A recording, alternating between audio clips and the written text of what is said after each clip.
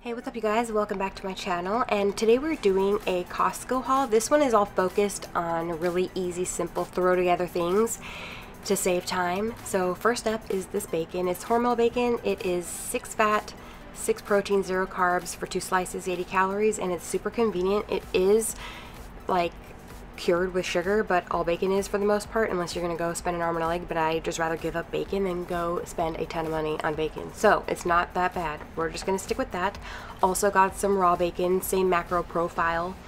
It all really depends on this one since when you do cook it, you are the one that's extracting the fat. So depending on how you cook the bacon, it could actually affect the macros, just saying. We also are cured with sugar, but that's okay uncured Black Forest ham. This is a huge package and I was so pleased. It's so delicious and it does say it has 2% or less of sugar but as long as it's after, two, after the 2% or less I'm usually okay with it in moderation at least.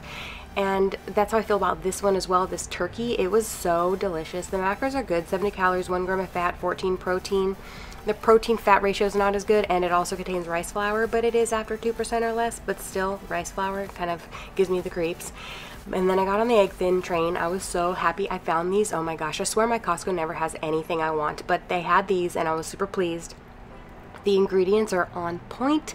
I wish I could recreate these, but honestly, it looks like it would be a lot of work. So I'm glad that I can get them at such a good price at Costco. So hopped on that. Also got some romaine. I love this artesian romaine. The heads are awesome for bunless burgers, for wraps, and also just like, you know, to chop up, make for salad. Kids love that. Also got this organic steam, um, cauliflower steam in the bag sort of situation.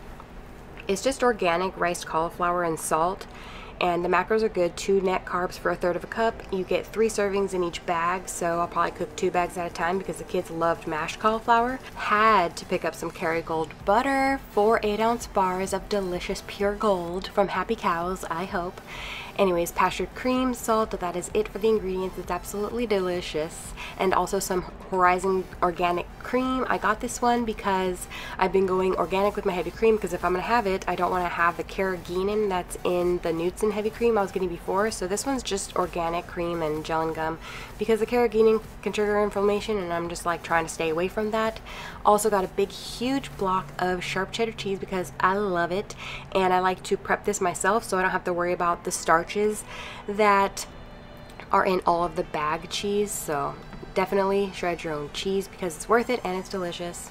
Picked up some ground sirloin burgers. These are a third of a pound, so 320 calories each, zero carbs, 28 grams of protein, 23 fat. Great profile right there. And these are super convenient. And these guacamole Wholly guacamole cups are so good. Organic Hass avocados, 2% or less of the um, dehydrated onion and just spices. Nothing bad there. And these are so good. Three net carbs for one and 10 fat, one gram of protein. The kids love them. So let me know down in the comments below what you guys would do with these ingredients, how you would switch it up with these ingredients, and also what do you guys find at your Costco that's super convenient that I need to keep my eye out for. And follow me on my social media at Miss Rock Gets Fit on Instagram and Adapting to Keto on Facebook. And don't forget forget, before you leave, subscribe if you haven't subscribed yet, and I will see you all in my next video. Bye guys.